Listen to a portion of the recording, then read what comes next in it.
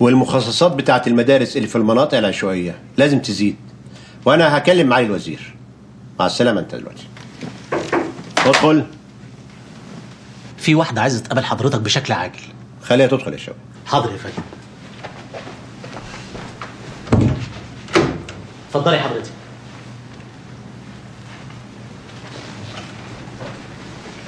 السلام عليكم. وعليكم السلام ورحمة الله وبركاته. أنا رحمة عبد الرحمن والدة الطالب عبد الرحمن عبد الله الطالب في مدرسة العبور الثانوية. اتفضلي ارتاحي اتفضلي. انت بقى الناظر اللي بعت لك الإيميلات مش كده؟ أيوة يا فندم. الحقيقة إحنا اوقفناه عن العمل وأحلناه لجنة الشؤون القانونية. عرفت يا فندم. الحقيقة أنا آسف على اللي حصل وفي نفس الوقت بستغرب. الراجل سمعته كويسة وتاريخه حافل في التعليم بكل ما تحمله الكلمة من معاني. حضرتك في الحقيقة أنا اللي جاي أعتذر. تعتذري عن إيه حضرتك؟ عن اللي عمله ابني. الولد عمل اللي كان المفروض يعمله عشان يحميكي. يا فندم دي مش الحقيقة. طيب آه، ممكن أفهم؟ الحقيقة إنه أنا والأستاذ ياسين في بينا قصة حب راقية ومحترمة. وهو طلبني للجواز. وبالفعل جه بيتنا وتقدم لي. طب آه، ليه ابنك جاني؟ لأن الولد مش موافق على الجوازة وأنا عشان كده جاي أعتذر بشكل رسمي. الأستاذ ياسين زي ما كان بيبعت لي إيميلات أنا كنت برد عليه وكل ده في إطار من الاحترام المتبادل اللي يمكن أنا براعيه بحكم التزامي لكن هو كان بيراعيه زيي بالظبط. وايه اللي خلى حضرتك تستني الوقت ده كله عشان تجيلي؟ لما حسيت إن الأستاذ ياسين مشاكله زادت بسببي لقيت إنه من الشجاعة إني زي ما كنت أنا سبب المشكلة أبقى برضه سبب في حلها. وبعدين الأستاذ ياسين ما قالش لحضرتك على كل الحاجات دي. فحسيت إنه لازم أقول.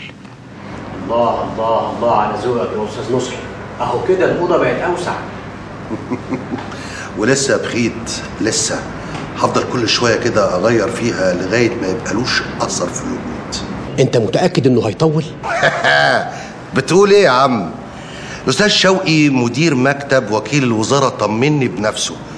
قال لي يا نصح حط بطنك بطيخة صيفي. أمال أنا هغير اللوحة دي كده اونطه بصراحة لايقة عليك أكتر. ده حقي اللي سرقوا مني من زمان. بس بيني وبينك يا بخيت ربك ما بيرضاش بالظلم. ابدا. عشان كده ربنا وقعه في شر أعماله. وبرضه دعوات عبد الرحمن والجماعة بتوعه في كل صلاة. ده دول بقوا في جيبي. أقول لك على حاجة بس ما تزعلش مني. قول يا حبيبي. أنا حاسس إن إحنا اللي بقينا في جيوبهم. اطلع بره. زوروني كل سنة مرة حرام تنسوا إيه؟ في إيه يا ولاد؟ مالكوا وقفتوا كده ليه؟ إيه في إيه يا عبد الرحمن؟ عايزين نغير الأغاني اللي بتغنوها دي. والله؟ هما مين دول بقى اللي عايزين يغيروا؟ اتحاد الطلبة ولجنة النظام. اتفضل اطلع بره. أنا رئيس الاتحاد المنتخب. انت هتطلع بره ولا أجي اضربك قدام الفتوات اللي انت جايبيهم؟ أنا ما حدش يقدر يضربني. أنا بقى أقدر اطلع بره يا واد اطلع يا قليل الادب الله يخرب بيتك يا نصحي من الأول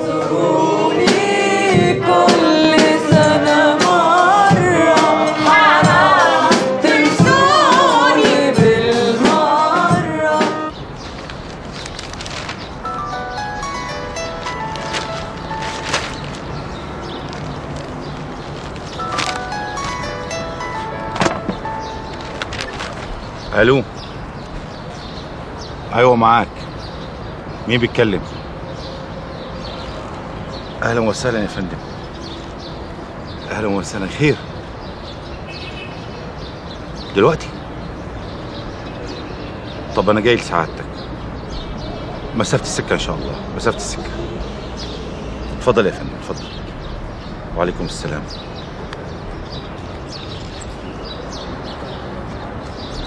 مبروك يا أستاذ ياسين. الله يبارك في سعادتك.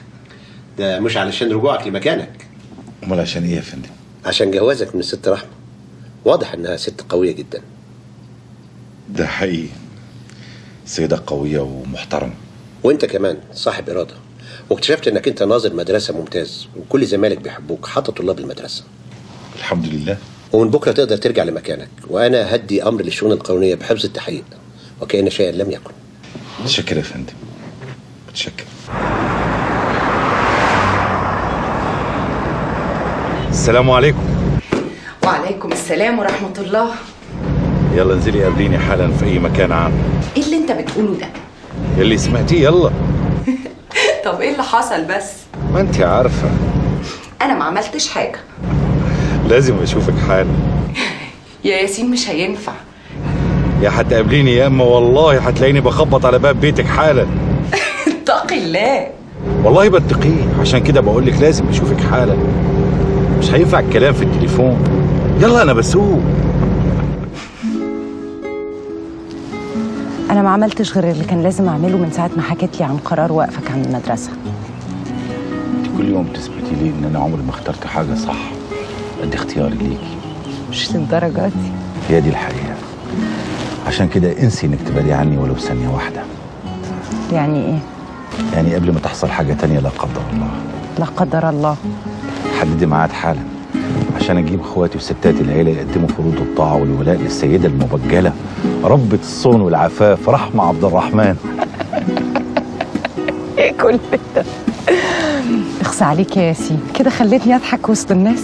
ودي فيها إيه دي؟ خلاص خلاص بدل ما نقعد نتجادل للصبح. خلاص حددي ميعاد. حدده أنت مع خالي. مالها شقتنا يا سعيد؟ ما هي كويسة. أيوه يا رباب.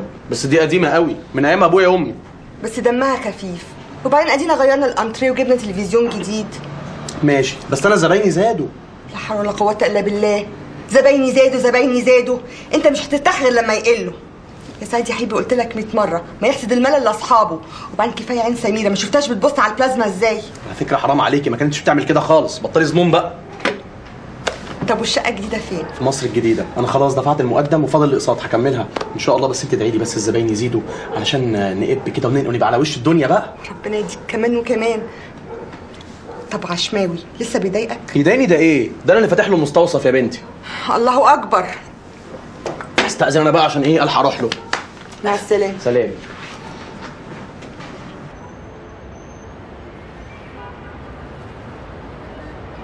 اتفضل يا دكتور سعيد. دول أتعاب امبارح وأول. وأخبار لستة النهارده إيه؟ ست حالات. ستة بس؟ ما أنا أجلت ستة تانيين لبكرة. ليه يا عشماوي؟ يعني أنا كنت شايفك امبارح وأول كنت تعبان ومجهد. ومين بقى اللي قال لك الكلام ده؟ ما أنت لازم تاخد لك أجازة وتسافر لك يومين عشان شكلك كده محتاج شوية راحة. يا عم أنت هتعمل فيها دكتور نفساني؟ يا دكتور سعيد أنا خايف عليك وعايز مصلحتك اللي هي مصلحتي. أنا مصلحتي الفلوس. الاقساط اللي عليا بالهبل عايز أخلص. أنت حر.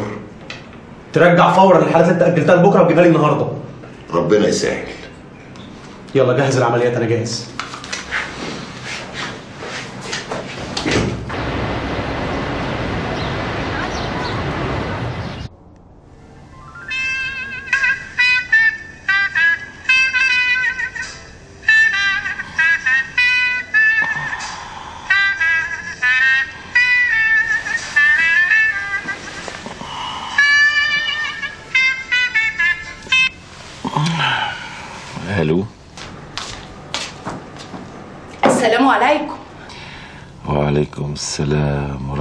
الله وبركاته.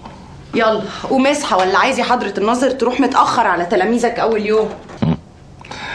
أنا عمري ما عملتها. طب يلا صحصح أنا اتفقت مع خالك على الخميس الجاي. إن شاء الله. مم، هو قال لك؟ قال لي. يلا بقى صحصح والبس هدومك ولما تنزل تكلمني.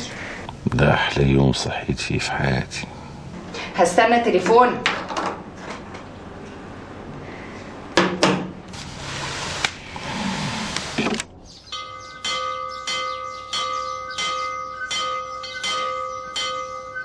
الطوابير تتنظم يا أولاد يا امن اقفل الباب.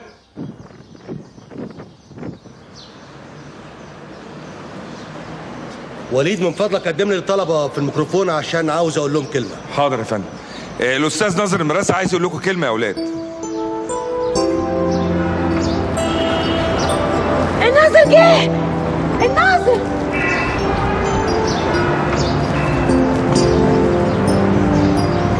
هو إيه اللي حصل؟ التحقيق خلص؟ هو كان في تحية من عصره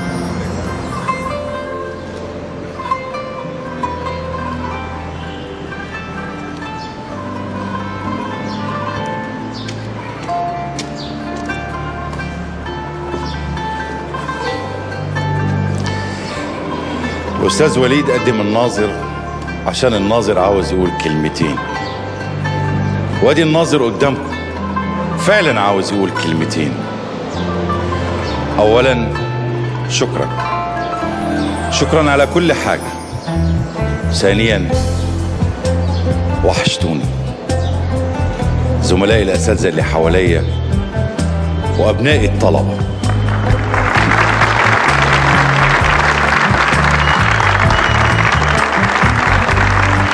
شكرا. أنا متشكر.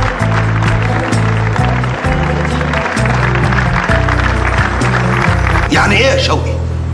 يعني إيه مفيش تحقيقات ولا شؤون قانونية؟ يعني كده اتلغوا بقدره قادر؟ طب الست اسمها إيه؟ يعني إيه ما يفرقش معايا؟ طب شكلها إيه؟ آه طلعوه براءة وراجع تاني مكاني. لا الحكاية مش حكاية ست ولا تحقيقات. الحكاية حكاية أمن دولة. أيوة أمن دولة. ادت أمر لوكيل الوزارة إنه يرجع تاني. سلامة يا شوقي. مع السلامة. نورت مكانك وبيتك يا ريس. أنا لسه كنت بتقبل التهاني بنفسي. يا حليمة. نعم يا ريس. رجعي الأوضة زي ما كانت. وهات شوية مطهرات طهري المكتب والكرسي والتليفون. من عينيا يا ريس. أنت لسه هنا يا أستاذ نصحي؟ ما تتفضل مكتبك. آه أيوه حضرة الناظر بس آه شوية محتويات كده هلمهم و اتفضل يا أستاذ. وباقي حاجتك هتوصلك هناك. اتفضل نورت مكانك يا ريس زودتها شوية مع النصح يا أستاذ ياسين. مفيش حاجة كتير على الناس اللي زيه أنا معك يا ريس استنى بس لما تشوف العيال بتوع لجنة النظام. بقوا هم المدرسين وإحنا الطلبة. هزولت. كل ده هيتغير يا سمرات. هيتغير إن شاء الله.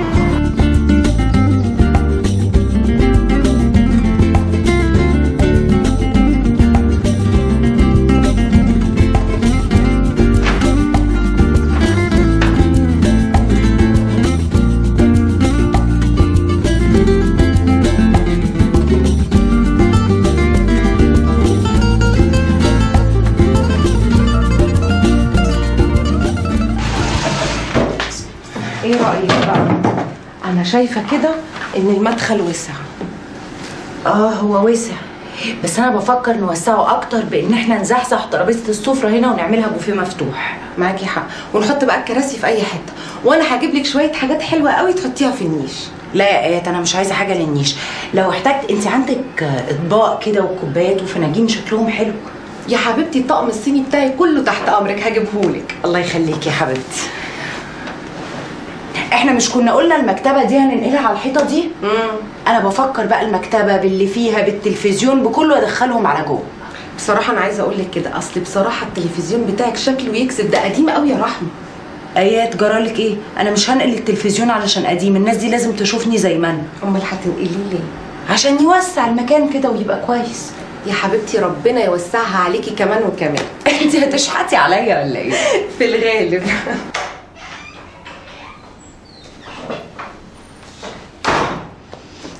بقول لك إيه؟ بلاش خناق.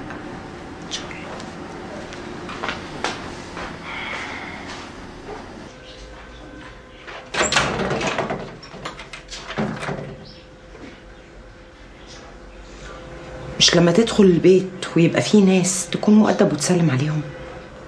انت عارفة كويس رأيي في الست دي. يا ابني كفاية غلط لحد هنا.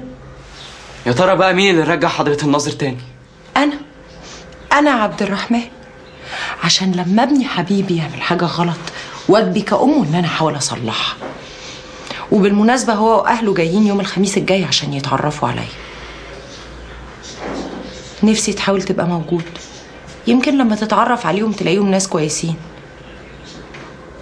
أما بقى لو قررت ما تجيش يا عبد الرحمن يبقى أوعك تعمل أي حاجة. لا تروح لسبادر ولا عبد العليم النمر ولا أي هبل من اللي أنت عمال تهبله. مفهوم؟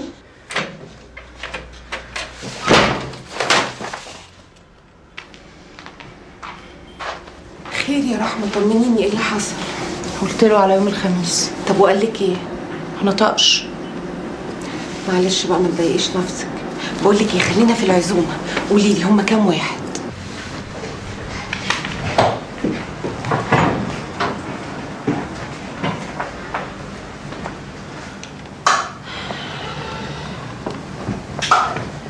وبعدين يا عرفان هتفضل ساكت كده لحد ما يتجوزها ولا إيه؟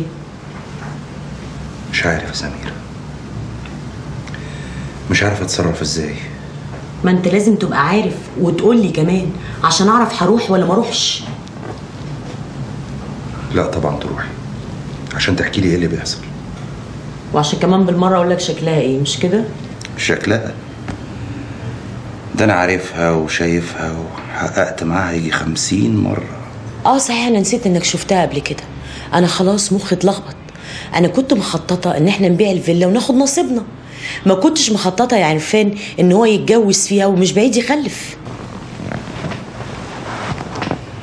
عمري ما كنت أتخيل إن البيت اللي دخلته عشان أفتشه وأقبض على اللي فيه يجي اليوم اللي مراتي تخش وعيلتي كلها عشان تناسب أصحابه. يا باشا حرام عليك والله العظيم ثلاثة عبد الله مات والله مات أنتوا مش مصدقين ليه؟ مات والله بس يا شوية كده يا بيه حسبي الله ونعم الوكيل فيك حسبي الله ونعم الوكيل بس يا وليه معلش يا أخوي معلش يا حبيبي معلش يا حبيبي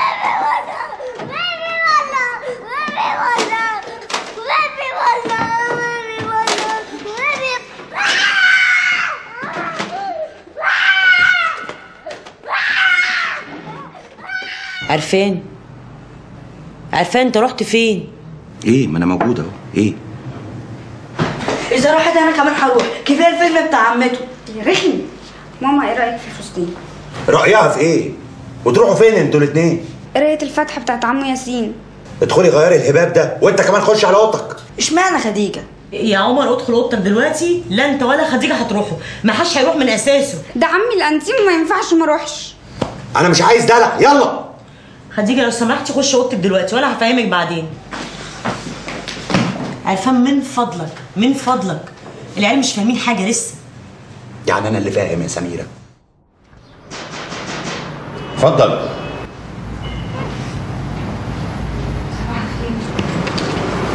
أهلا وسهلا يا أستاذ. الحمد لله على السلامة. كده متشكر متشكر يا أستاذ.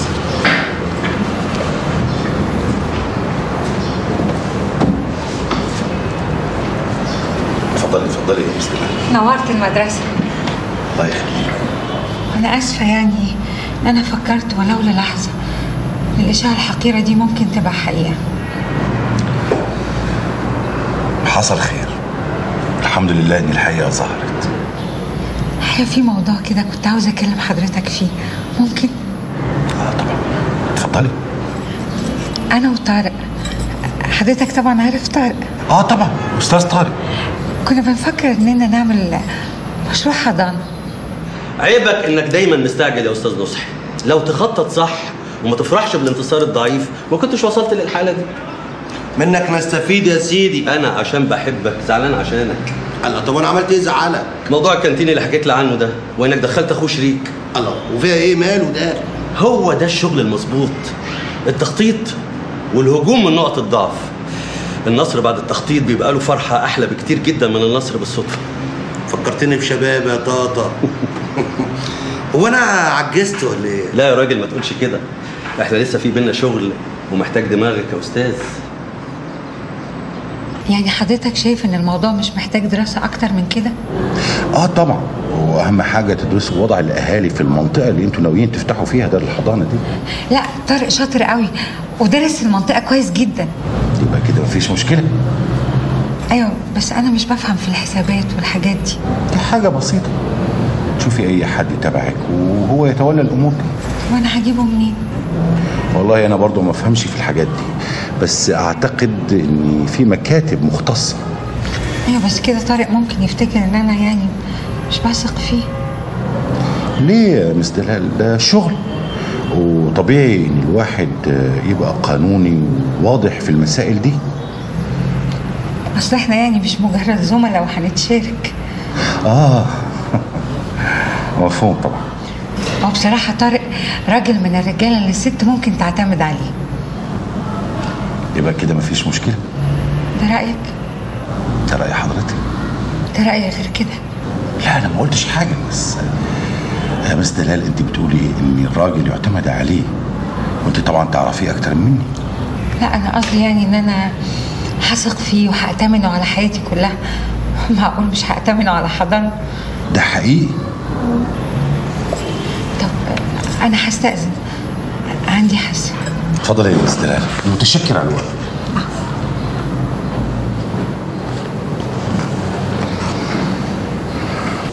بعدين بقى ما تعيطش يا عبد الرحمن. ما تعيطش. لو كان أبوك موجود كان قال لك كده برضه. الرجالة ما بتعيطش. أنا بعيط من القهر يا عم بدر. عملت كل حاجة وبرضه مفيش فايدة. مش قادر أصدق إن الراجل ده هيعيش معايا في بيت واحد. وهيبقى مكان أبويا.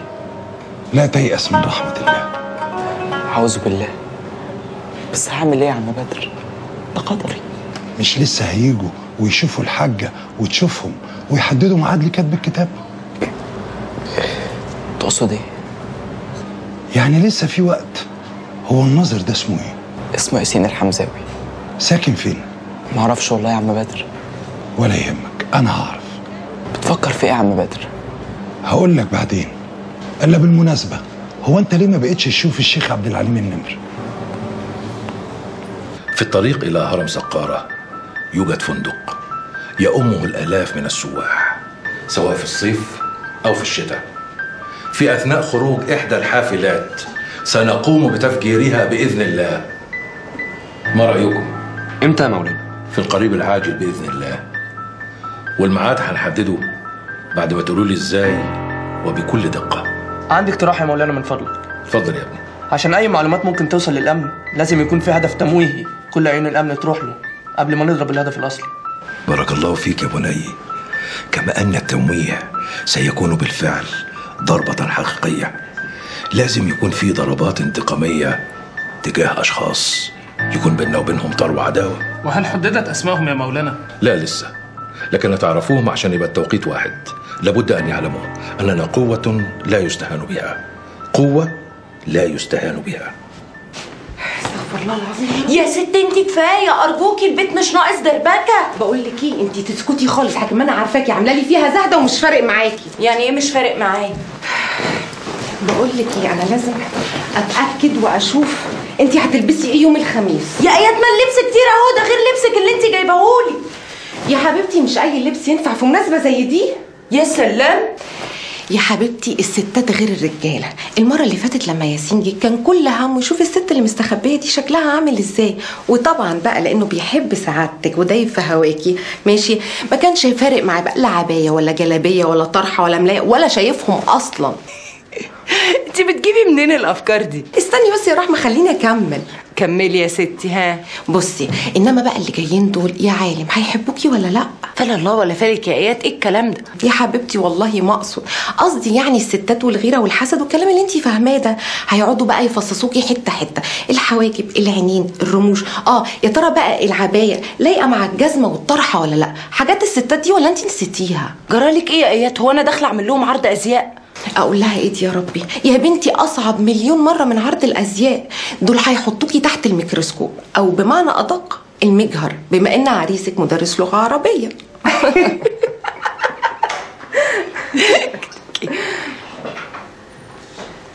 باين عبد الرحمن جه. بقول لك إيه؟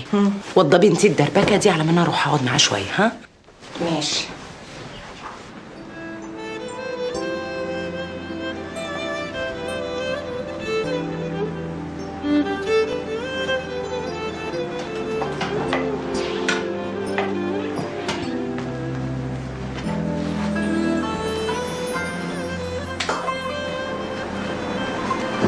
وبعدين بقى معاك يا عبد الرحمن.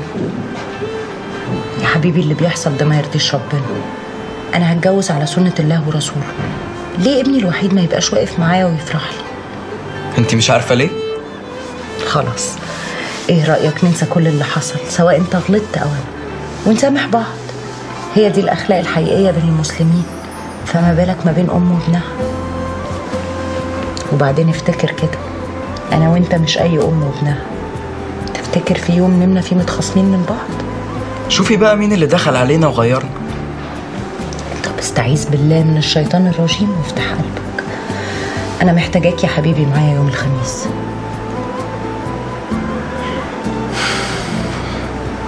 طب ولو قلت لك علشان خاطري؟ آسف مش هقدر. ربنا يهديك.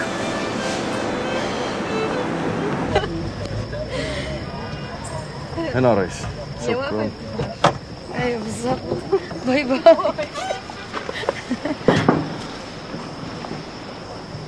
ما تتأخريش يا مريم هستناكي ها؟ bye bye. يلا.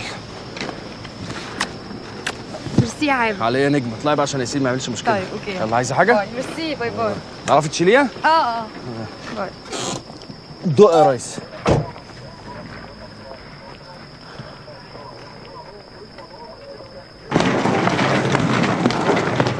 wow. إيه الجمال ده بس يا أبي. الحمد لله على السلامة يا حبيبتي. الله يسلمك يا عريس. ده أنا اتبسطت جدا هناك. طب الحمد لله. أنا فعلا يا أبي كنت محتاجة رحله زي دي مش عاوزين حكايات دلوقتي. على ما تجهزي نكون تأخرنا. يلا يلا. يا سيدي اتقل. ده التقل صنعة. ما هو مشكلتي إن أنا مش صنايعي إنما دايما على طبيعتي. يلا ما هي عشان كده حبيتك. يلا يلا يا حبيبتي. يلا جهزي يا أبي حاضر. ربع ساعة بالظبط وهلبس وأنزل ها؟ أبي ياسين ما تنساش هنجيب لها ورد وإحنا ماشيين. هو أنا هستناكي. الورد سبقنا. يلا يا بنتي شهلي يا بختها. يا أهلا وسهلا. البيت نور بالعائلة الكريمة. نور بوجودك يا حاج. نورك. ربنا يخليك يا حاج ميرسي. ويا ترى الدكتورة رباب دكتورة إيه؟ لسه ولادة يا عم أمين. يا خسارة. ما تنفعنيش. كنت فاكرك أمراض باطنية عشان تكتبي لي شوية مقويات وفيتامينات. كلك شباب يا حاج كلك إيه شباب. بقى؟ الله يكرمك. أنت بقى اللي شباب. آه، تحبوا تشربوا إيه لغاية ما تيجي رحمة؟ لا خليك مستريح. كمان شوية نركب اللي إحنا عايزينه أنا مش عارف كمان هي اتاخرت كده ليه. سيبها براحتها. مش عروسة. ما تقولي حاجة يا سميرة. آه وأنا هقول دلوقتي. حضرتك ما قلتليش أصلا أصلا بتشتغل إيه؟ ده أنا اللي كنت عاوز أسألك أنت أصلا أصلا بتشتغل إيه يا أستاذة سميرة؟ أنا بشتغل مديرة الائتمان في البنك اللي أنا بشتغل فيه. بسم الله ما شاء الله. وحضرتك؟ بقول لك إيه أنا عايزاكي قبل ما تدخلي عليهم تقري في سرك وجعلنا من بين أيديهم سدا ومن خلفهم سدا فأخشيناهم فهم لا يبصرون. صدق الله العظيم. بس ده على أساس إن أنا داخلة على لجنة امتحان شفوي ولا إيه؟ أصعب يا بنتي. ده انت عليكي حتة سلفة اللي اسمها سميرة دي يا ساتر يا رب. بوسها شبرين. ربنا يستر. عشان خاطري ايات هاتي لي بقية حاجتي لا يقولوا عليا خايفة أطلع لهم. عينيا خايفة؟ إيه ده؟ انت زي القمر. بس حضرتك فاجئتني. عندك معلومات كتير قوي في نظام المرابحة والائتمان والبنوك الإسلامية. إن شاء الله هبعت لك نسخة من كتابي اللي ألفته عن البنوك الإسلامية ونظام المرابحة. إن شاء الله. أهلا أهلا أهلا نورتونا. السلام عليكم. وعليكم السلام ورحمة الله رحمة بنت أختي الأسرة الكريمة للأستاذ ياسين. سلام سميرة مرات أخويا عرفان. دكتورة رباب أختي مريم مرات أخويا عادل ودي ريم بقى آخر العنقود. قصد حضرتك النجمه ريم نجم إيه بس ربنا يخليكي ده هو فيلم يتيم اللي أنا عملته. اتفضلوا اتفضلوا. اتفضلوا استريحوا لا كده هنغير يا أبي ياسين. عروستك هتغطي علينا كلنا. لا ما تقوليش كده يا مريم. ده انتي بسم الله ما شاء الله زي القمر. أمال فين ابنك يا رحمة؟ أنا ما سألتكوش تحبوا تشربوا إيه؟ غلطان. كان لازم تكون موجود معاهم. ما كانش ينفع يا عم بدر. كنت ممكن أعمل فيه حاجة. وساعتها كانت هتبقى قطيعة بيني وبين أمي واللي بيننا أصلا مش ناقص. عموما ما تقلقش. كل مشكلة وليها حل. اصبر يا عبد الرحمن. إن الله مع الصابرين. ونعم بالله يا عم بدر.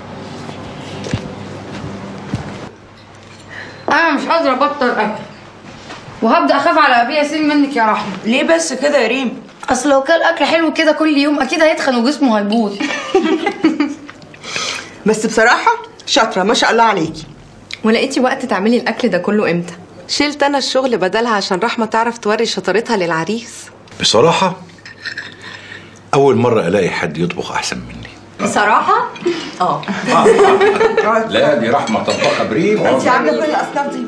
لا آه يا حبيبتي. انت لوحدك. برافو. بختك يا أستاذ. مش هتتغذى تمام. سميرة تحبي أزود لك حاجة؟ لا متشكرة قوي كفاية عليا ده. تسلم ايديك ألف هنا. اكل حلو قوي يا رحمه الله يخليك. بس بجد يا أبي عرفت تختار. عجبتك فعلا يا ريم؟ عجبتني جدا. شكلا وموضوعا وكل حاجة. أنا عن نفسي ما كنتش أتمنى لك واحدة أحسن من كده. طب الحمد لله. بس خدتي بالك من سميرة مرات أخوكي؟ وهي دي برضه حد ما ياخدش باله منها. دي كانت عاملة بالظبط زي ماري منيب في فيلم حماتي قنبلة ذرية. ما كانش فاضل بس غير إنها تقول لها قطن دي يخرب عقلك يا ريم جبتيها منين دي؟ آه صحيح يا أبي هي مالها كانت بتعمل كده؟ أكيد عرفان موصيها. اسمع كلامي يا عرفان. هيتجوزها يعني هيتجوزها لو ما لحقتش السرب بسرعة. لو تشوف نظرات الغرام اللي ما بينهم تفتكرهم عيال في إعدادي؟ انت بتغزيني يا سميرة ولا إيه؟ لا أنا بحكي لك اللي حصل. ولا عايزني أسكت عشان ترتاح. لا تسكتي إيه بقى؟ ما أنا مستقبلي كده هيروح في ستين داهية. وهتسكت؟ لا طبعا. هسكت إزاي يعني؟ طب هتتصرف إمتى؟ بقول لك شهر أو شهرين بالكتير قوي والهانم هتبقى مشرفة ببيت وعروسة أو في فيلتكم بالأصح. لا. هتصرف يا سميرة. هتصرف.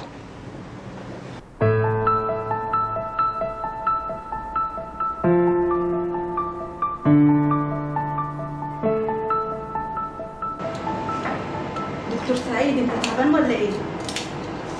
لا مش تعبان ولا حاجة. يلا يلا خلينا نخلص. عموما بعد العملية دي خد لك اجازه يومين خليك انت في حالك.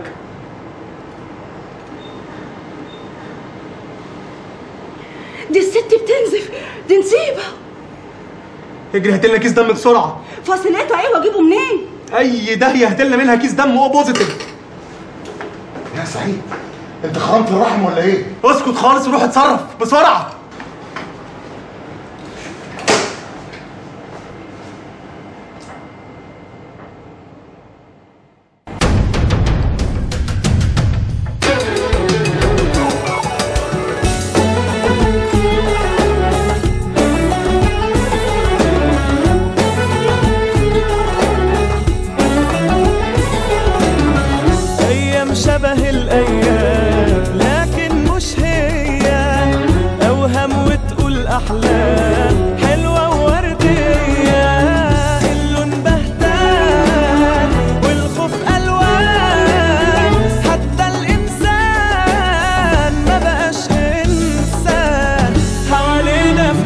مكان بطال ونقول عالسجن ده حرية.